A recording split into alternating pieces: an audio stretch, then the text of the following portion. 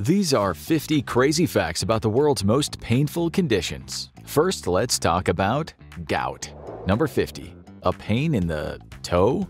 Gout is a condition that can often slip under the radar as it normally starts off as just pain and swelling in the big toe and the surrounding area. It's easy to mistake as a simple stubbed toe or arthritis, but it's actually a serious condition. It's most common in men, but women aren't immune either, and most people who get gout are older. The pain can be minor in some cases, but in serious flare-ups it can make walking extremely painful or even impossible, leading to people having to walk with a crutch. And the culprit isn't what you might think.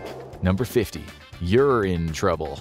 Gout is joint inflammation, and the best way to detect it is for a doctor to draw fluid from the joints and test it for uric acid crystals. This comes from a substance called purines, which occur naturally in the body but are also found in certain foods and drinks. When they break down, they produce uric acid, which is typically dissolved in the blood. However, when the body produces too much or has excess introduced through foods and drinks, the kidneys can't keep up. Crystals form and the crystals build up in the joints and cause serious pain and gout can be the unfortunate aftermath of a party? Number 48. Let the good times hobble.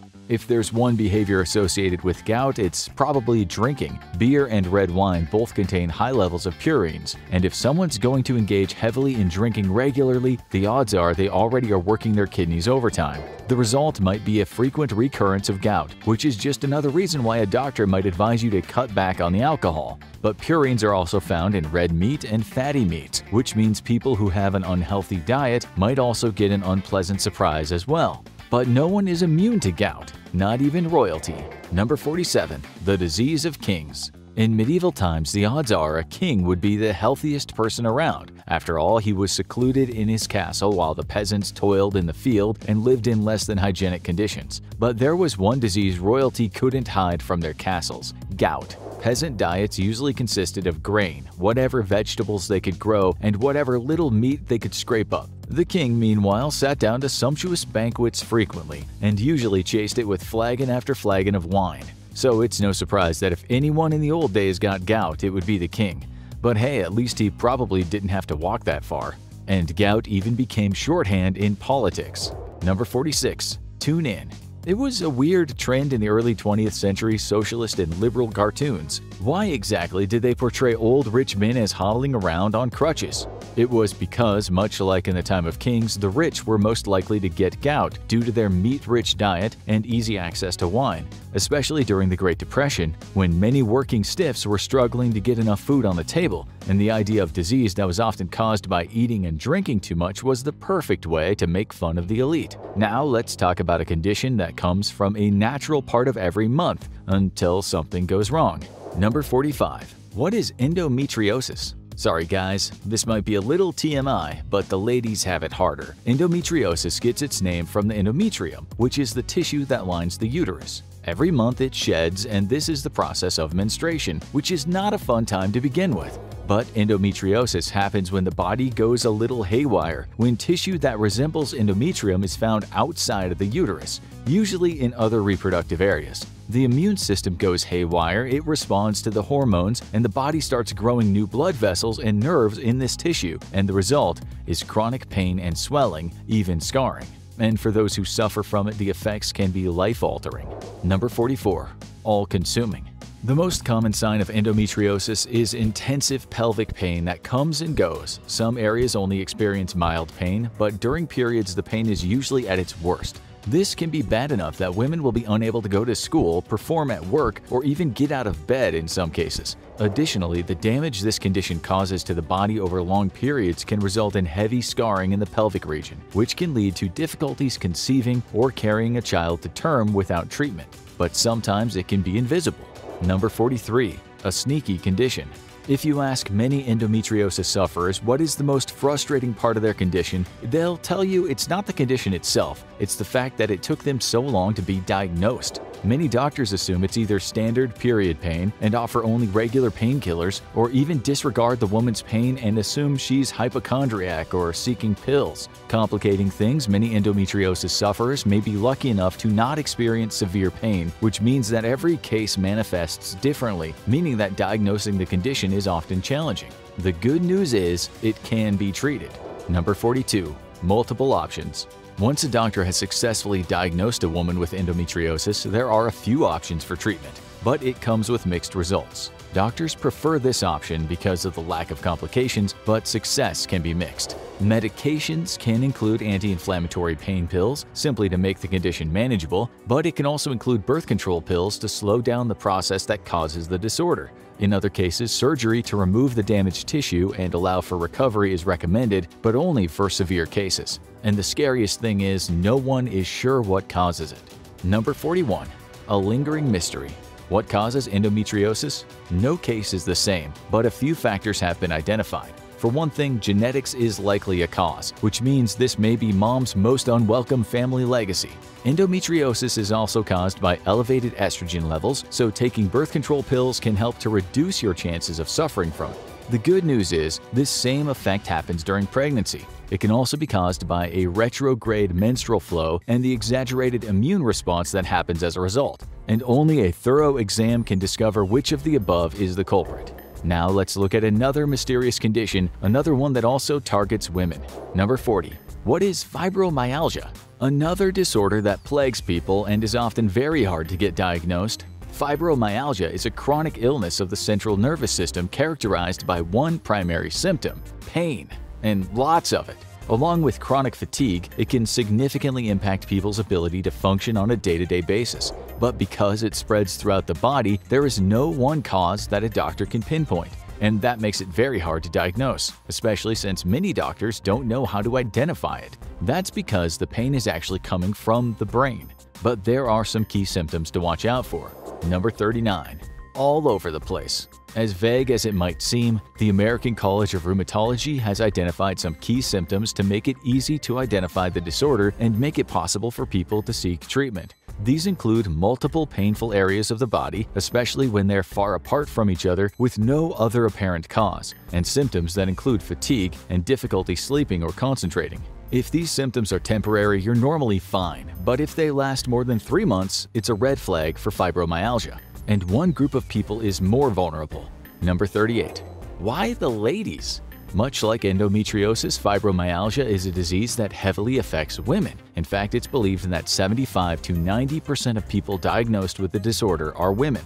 But unlike the prior disorder, which affects the reproductive system, there's no indication of why this is the case. Increased research has indicated the number of men with the disorder is increasing, and this might be the result of better research. But there is another possibility. The subtle and often invisible nature of fibromyalgia's pain means it can be written off as just regular aches and pains, and for some men, they're not going to go to the doctor for anything short of a stab wound. The good news is there is hope. Number 37. Cutting back.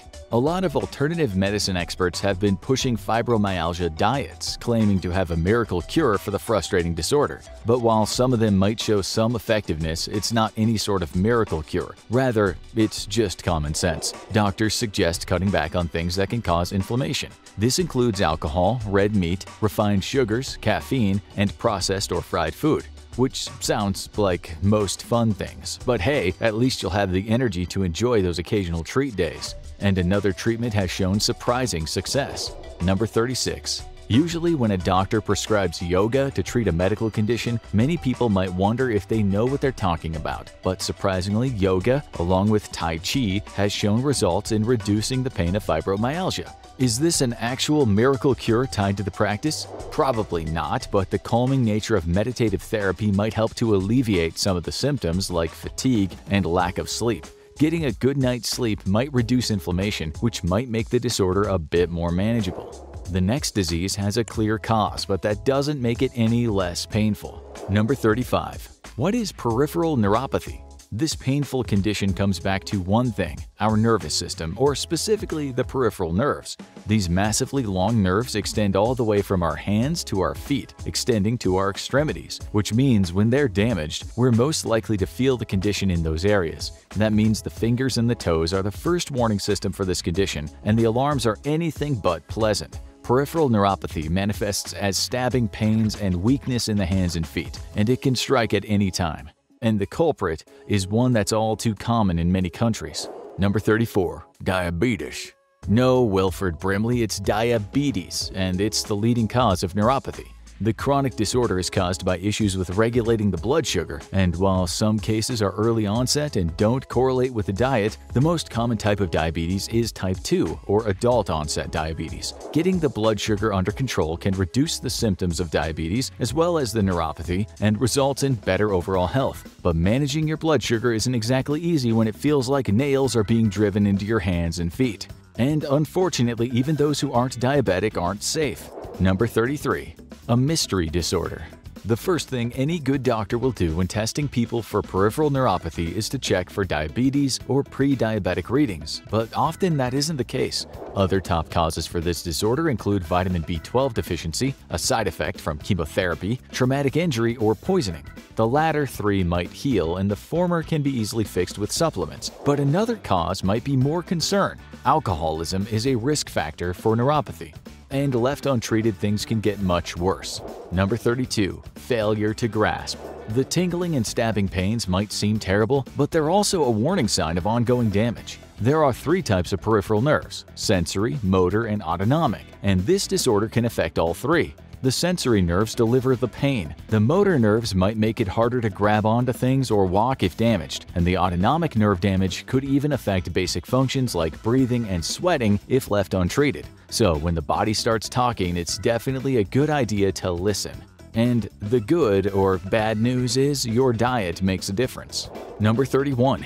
Eating for your nerves. Your mother might have told you to cut back on that junk food years back. After all, that soda will rot your teeth. But could it be rotting your nerves as well? Studies show that foods with excess sugar, excess fat, artificial sweeteners, and refined grains cause stress on the nerves and can irritate the disorder. While it won't address the core of the condition unless it's caused by diabetes, and the diet change will help get it under control, it can calm the nerves and make it easier to manage peripheral neuropathy until the main cause is fixed. Many of these disorders are a warning sign, but a few are a blaring alarm, like this next one.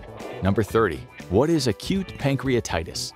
The pancreas is the little workhorse of the body, an organ in the upper gut that produces the juices to digest food and the insulin to regulate blood sugar. If it stops working, that's usually lights out, which is why it's one of the most feared cancers. While not every pancreatic disorder is fatal, all of them are serious. Acute pancreatitis is a sudden swelling of the pancreas and is usually characterized by sudden onset intense pain, the kind that can stop a grown man in their tracks and send them to the hospital. And doctors take any pancreatic issues seriously. Number 29. Better safe than sorry.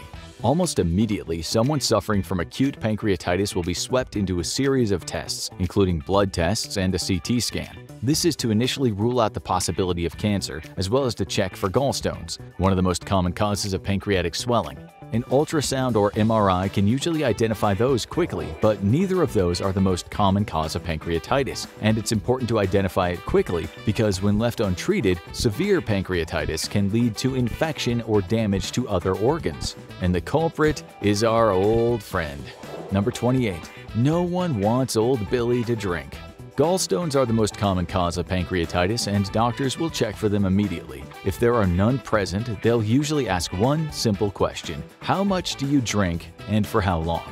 Alcohol puts the body under stress as it processes it, and the pancreas has to work overtime to get rid of the toxins. Over the years, the pancreas wears down and becomes more vulnerable to infection and inflammation. If neither of these are the culprit, doctors will check for medication side effects, infections, and injury. And if you happen to be diagnosed with this, better plan on some time off. Number 27. Sorry, boss.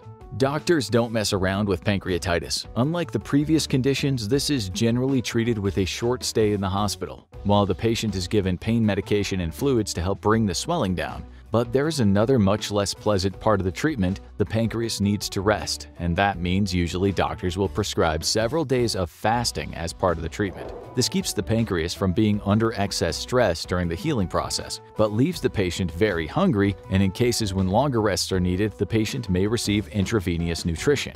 And there's one cause that is often unexpected. Number 26. Thanks, Dad. Most causes of pancreatitis are due to gallstones, alcohol abuse, or other illnesses, but there's a form of the disease that can be inherited, and it gets passed down from generation to generation like a tacky family heirloom. Hereditary pancreatitis is associated with a gene named PRSS1, and it provides an increased chance of pancreatic swelling as well as pancreatic cancer. There is no cure for bad luck with the genes. Doctors just recommend keeping on your diet and getting regular screenings to fend off the attack at the pass. Most of these conditions are painful, but this next one can be deadly. Number 25. Appendix attack. It might be one of the most common causes of surgery among kids, appendectomy. The odds are we all had a kid in our class who was out of school for a week and came back with a gnarly scar that he couldn't wait to show off. It's all due to the appendix, a tiny organ located in the lower right corner of the abdomen. The appendix isn't completely useless, but it plays a minor role as a store for good bacteria. That is until it gets an infection. And when the infection grows and turns into appendicitis, watch out, because the last thing you need is for the appendix to blow. Number 24. Emergency surgery. Appendicitis is an emergency that is typically characterized by pain in the middle of the abdomen, followed by moving to the lower right side of the abdomen. It can start as mild, but then become agonizing and be associated with fever and nausea. At this point, the treatment is usually to remove the appendix, which is a simple procedure, if gotten to in time. Because if the appendix bursts and leaks toxic contents into the digestive tract, it could become a life-threatening emergency at worst or a long hospital stay at best. The good news is you might be back to normal sooner rather than later. Number 23. Be back in soon, boss. Appendectomies are among the most common surgeries performed today, and they usually involve only a small incision in the abdomen and a removal of a minor organ. This means that most patients leave the hospital after only a day or two, and unlike many surgeries, you're gonna feel better almost immediately after getting your appendix out. After release, doctors advise taking it easy for 2 to 4 weeks, but if your job doesn't involve heavy lifting, odds are you'll be back to work or school within a week. That is, assuming nothing goes wrong. Number 22. Ticking clock. When someone's diagnosed with appendicitis, it's usually a very fast process to get that organ out, unless there's a hitch in the works. During the COVID-19 pandemic, many hospitals put a complete stop on non-emergency surgeries, and appendectomies weren't considered emergencies except in certain cases. It was possible for patients to instead be outfitted with shunts that would relieve the pressure on the appendix and allow it to drain non-surgically, but left them with some level of constant pain until the crisis was over. But a misdiagnosis can be deadly, and no one is safe. Number 21. The closest of calls. Alice Tapper was an ordinary 15-year-old when she came into the hospital with signs of appendicitis in 2021, but doctors quickly ruled it out after a quick scan and diagnosed her with a viral infection instead. But as her symptoms got worse, her parents battled to get a second opinion, and it probably helped that her father was the famous news anchor Jake Tapper. After a second examination, it was revealed that Alice's appendix was already perforated, and they caught it just in time to save her life. Alice wrote an op-ed after her recovery, revealing that the condition can be misdiagnosed up to 15% in children, and a misdiagnosis can be deadly. This next disorder won't kill you, but for many men at the urinal, it might feel like it. Number 20. Pain in the… What exactly is a kidney stone? It's a giant pain in the last area where someone wants one. These are hard deposits made out of minerals and salt that form in the body and get lodged in the kidneys. They're typically hard and sharp and can cause massive pain in the kidneys while they're stuck in there. But when something is lodged somewhere, it has to come out eventually, and it can only come out through the same route which everything that gets filtered through the kidney takes the urethra. That can make for an agonizing time when you try to pass kidney stones. But there isn't just one type of stone, there's a veritable gem mine in there. Number 19. Not exactly a treasure chest.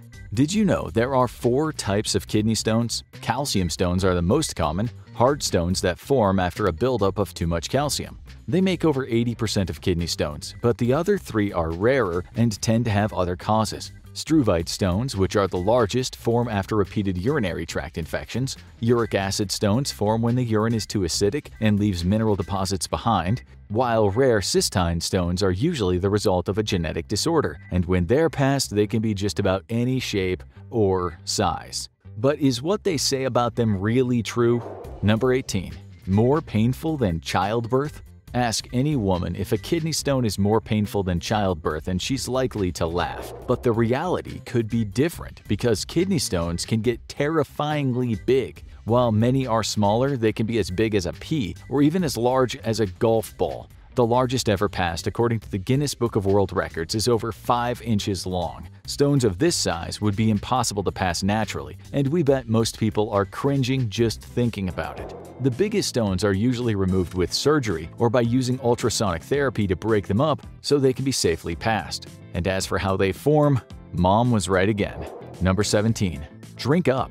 Certain foods can lead to the forming of kidney stones, such as high salt and animal protein foods, but you don't need to worry about calcium. Salt keeps calcium from being absorbed, and so high salt foods should be avoided. But while changing your diet can help, there is a much better way to fend off kidney stones. Mom always said keep drinking water, and she turned out to be right. Lack of hydration is a factor in as many as half of kidney stones, and if you're peeing anything more than pale yellow, watch out. But unlike past disorders, this one is not rare.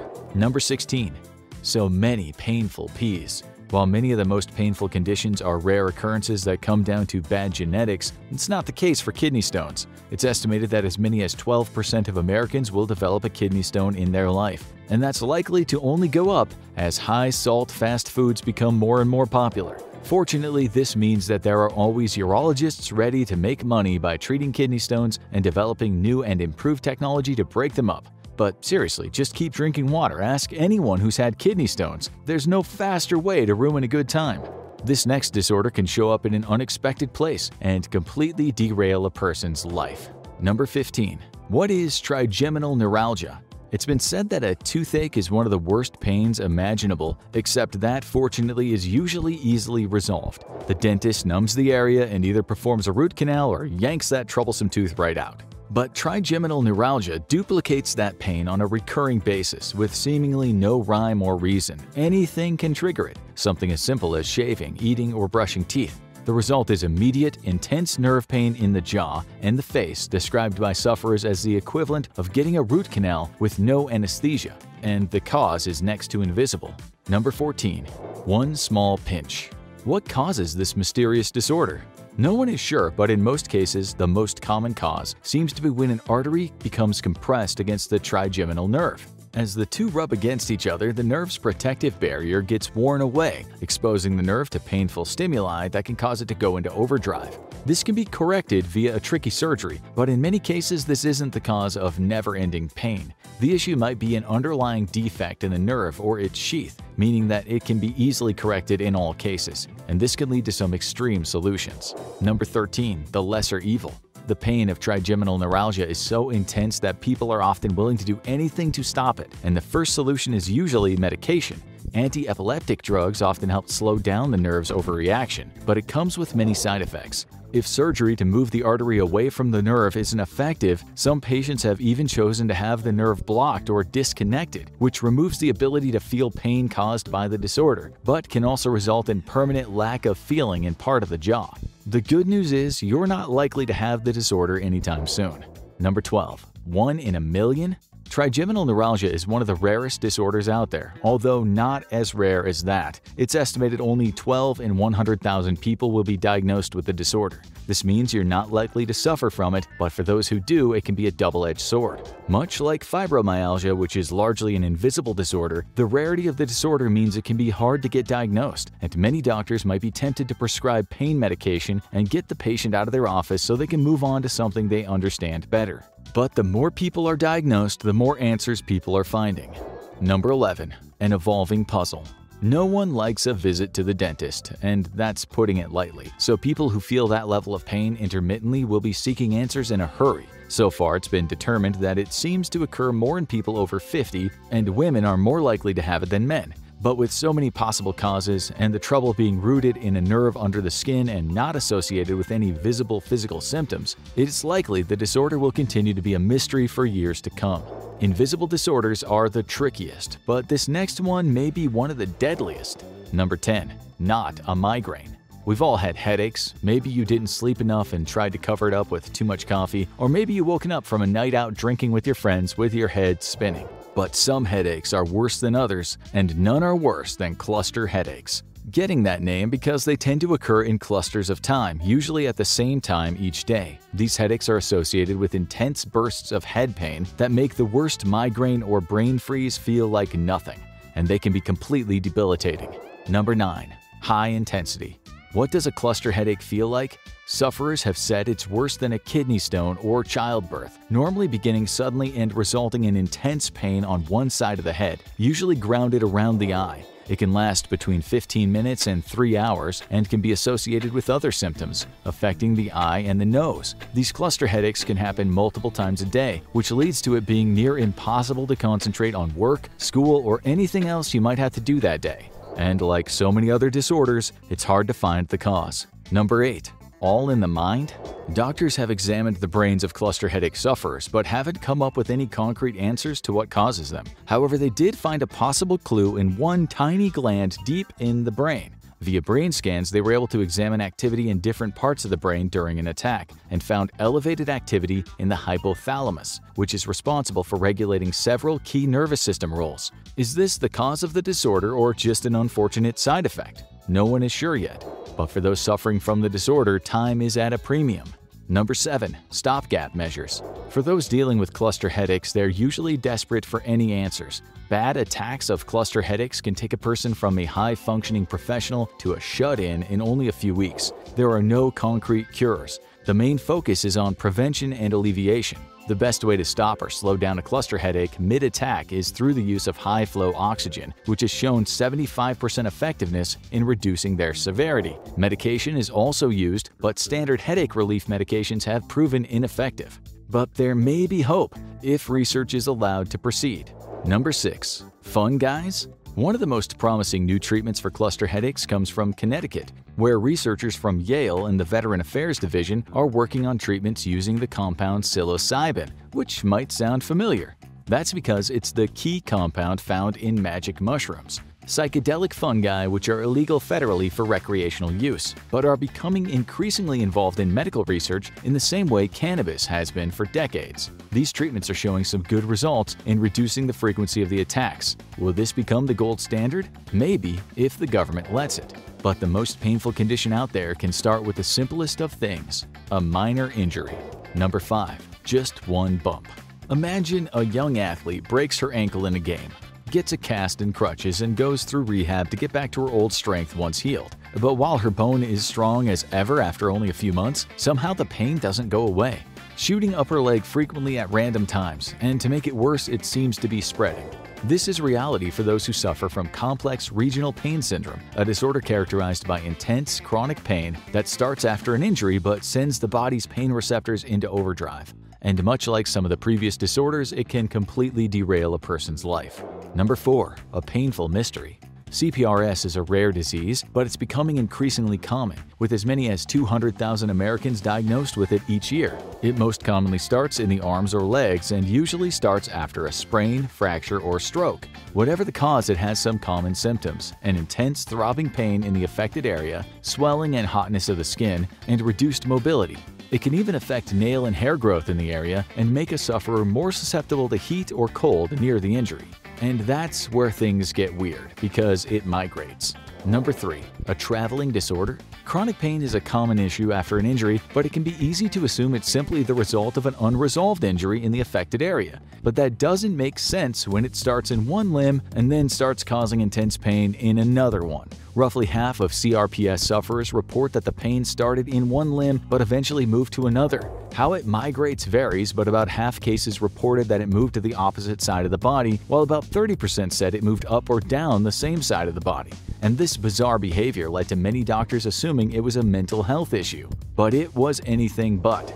Number 2. A plan of attack. Many patients give up hope after meeting one doctor after another who dismisses their concern. After all, the x-rays aren't showing anything and the doctor has many other patients to look at that day. But while there's no cure for CRPS right now, doctors have made a lot of progress in developing treatments. Many cases, especially those where treatment starts early, are able to be alleviated with physical therapy. This works because it boosts the circulation and the blood flow in the affected area and reverses the nervous system issues that occur when an injured body part is kept from moving. But serious cases demand serious solutions. Number 1 calling in the reinforcements. When physical therapy isn't cutting it, doctors can prescribe medications, starting with over-the-counter drugs like acetaminophen, but including addictive opioids. This condition may have made many people more vulnerable during the opioid epidemic. After all, it's a condition with no clear cause and no clear cure. That means if people find a medication that works, they're likely to be on it perpetually. And that's why doctors have stopped leaning so heavily on these medications for treatment and now often suggest nerve blocks, injections that turn off a nerve's pain receptors temporarily and give the nerve time to heal. And as for many CRPS sufferers, nothing is more important than neutralizing that pain and getting back on the sports field. Want to know more about painful conditions? Check out The Worst Pain Ever. These injuries will make you cry like a baby. Or watch Why Do You Have Pain Here When You Run for another strange mystery of the human body.